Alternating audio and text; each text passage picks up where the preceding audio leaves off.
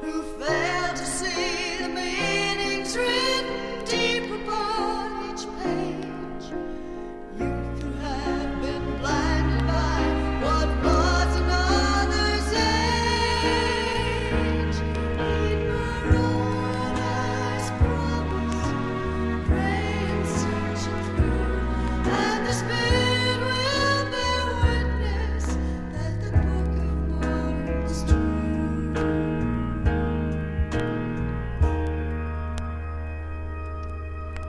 eyes are.